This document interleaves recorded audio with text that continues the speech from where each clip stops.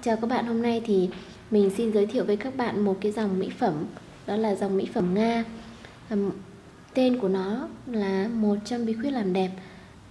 Nó là một cái dòng mà được tổng hợp lên từ các công thức nấu ăn. Nó mang hương vị của những món ăn à, rất là nồng ấm và thích hợp với những người mà à, thích vẻ ấm áp và sự ngọt ngào ấy thì nó rất là phù hợp. Cái thành phần nó và hơn nữa là nó cũng là một trong những cái sản phẩm rất là nổi tiếng trong cái bộ sản phẩm của hãng Kalina là một cái hãng mà chuyên sản xuất các dòng mỹ phẩm thiên nhiên của Nga và rất là nổi tiếng. Mình nghĩ là nói đến Kalina thì rất là nhiều người biết đến ạ. Cái dòng sản phẩm này thường thường các thành phần của nó được sử dụng đó là à, mật ong này hay là gọi là gọi là sữa ong chúa là sữa ong chúa này. Các quả hắc mai biển là giàu chất chống oxy hóa này chống lão hóa rất là cao này rồi là vitamin A E à, rồi là tinh dầu các loại tinh dầu mà của dưa chuột hay là của lô hội hay là của hoa hồng này. Một cái bộ sản phẩm của nó thì luôn luôn bao gồm à, đầu tiên đó là tẩy da chết này sữa rửa mặt này nước hoa hồng này à, kem dưỡng tinh chất dưỡng rồi là kem dưỡng ban ngày kem dưỡng ban đêm này và kem dưỡng cho da mắt nữa. Thì thường thường ấy um, Ừ, rất là ừ, người à, Việt Nam mình thì mình để ý là rất là ít sử dụng kem dưỡng cho da mắt. Nhưng mình thực tế nói thì kem dưỡng cho da mắt lại rất là tốt có thể sử dụng được cho cả da mặt nữa. Bởi vì cái kem dưỡng cho da mắt ấy, cái vùng da mắt đó là vùng rất là nhạy cảm. À, cũng có thể là bạn à, mà nó cái kem dưỡng cho da mắt thường thường nó có tác dụng là chống nhăn rất là cao hoặc là chống lão hóa rất là cao để đem lại cái sự tươi trẻ cho đôi mắt của bạn cho nên là mình nghĩ là áp dụng cho da mặt cũng rất là tốt. Tuy nhiên thì ờ, đó là một cái nhận định. Nhưng mà cũng có người là thích dùng cả bộ. Ví dụ như là bộ của nó thì là ở đây mình không có nước có, có cái kem ờ, sữa rửa mặt. Là mình à, mình cũng xin giới thiệu qua về cái nước hoa hồng ấy.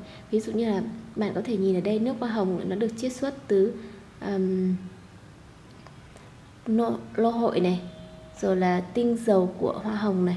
Đấy thì nó là một cái dòng nước hoa hồng mà không chứa cồn. Rất là tốt.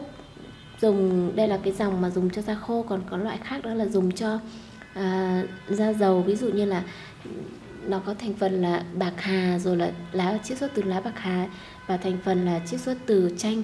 Thì cái dòng chiết xuất từ bạc hà và chanh ấy nó có tác dụng chống viêm rất là tốt và rất thích hợp với những người mà à, da hay bị mụn giờ là da dầu. Thì đặc biệt cái dòng đó là rất là tốt. Còn cái dòng lô hội và hoa hồng lại thích hợp với những người bị da khô. Đó là đặc điểm của cái dòng của hầu như là tất cả những cái dòng thiên nhiên của nga ấy, thì họ ờ, đều phân như thế. Cho da khô da nhạy cảm và à, da bị mụn. Còn đây là mình xin giới thiệu đó là cái tinh chất dưỡng của cái dòng 100 bí quyết sắc đẹp này. Cái tinh chất dưỡng nó có tác dụng như thế nào? Tinh chất dưỡng nó cũng đậm đặc như là một dạng của serum nhưng nó không phải là dạng tinh dầu. Nó chỉ là một cái dạng cô đặc hơn của kem. Nó có tác dụng tốt hơn kem. Có thể là uh, da bạn nào bị bị nhăn hoặc là bị uh, lão hóa nhiều ấy, thì dùng nó rất là tốt. Và cái dòng mỹ phẩm này cũng chia theo độ tuổi từ độ tuổi 25 trở xuống này. 25 trở lên 35 45 và trong cái thành phần của nó thì các bạn cũng thấy trên bao bì cũng thể hiện ngay được đó là quả việt quất hoặc là uh, hắc mai biển. Việt quất thì là nó có tác dụng rất là tốt trong cái vấn đề mà chống oxy hóa này rồi là hoa tầm hoa tầm xuân đây này hoa là những cái dòng um, thảo dược khác đó là rất là tốt này.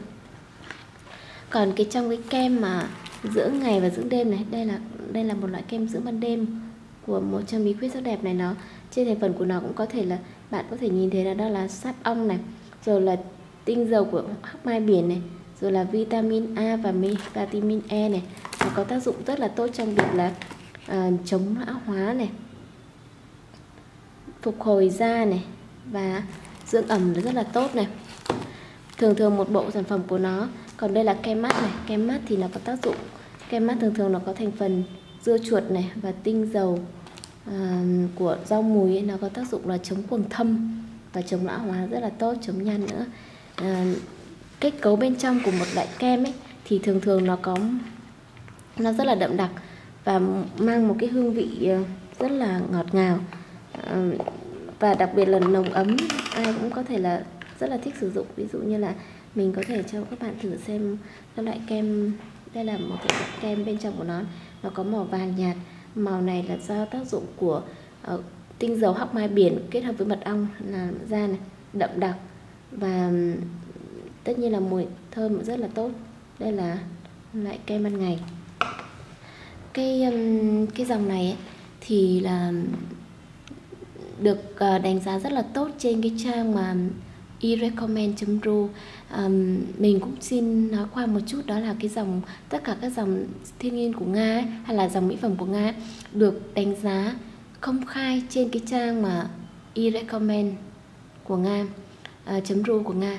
Uh, mình và mình thấy đây là một cái điều mà rất là tốt để cho những cái ai mà um, những người dùng người tiêu dùng ấy muốn chọn những cái sản phẩm tốt thì đều có thể tham khảo trên cái trang đó. Và tất cả cái dòng sản phẩm của bên mình ấy, trên trang mỹ phẩm nga.vn thì đều sử dụng uh, những cái review đó uh, và những cái khuyến cáo của nhà sản xuất để uh, giới thiệu với người dùng Việt. Mặc dù là uh, tất nhiên là người Việt Nam mình thì cũng chưa quen với dòng mỹ phẩm Nga. Uh, tuy nhiên ấy, những cái dòng mỹ phẩm lớn như là Pháp hay là Đức hay là Hàn ấy, càng lớn bao nhiêu thì cái tiền chi phí cho quảng cáo thương hiệu càng cao. Và cái hàng độ và cái tỷ lệ hàng nhái rất là lớn. Bởi vì có thương hiệu họ đã làm thương hiệu sẵn rồi thì những cái cơ sở sản xuất hàng giả họ cũng có thể uh, bám theo để bán sản phẩm.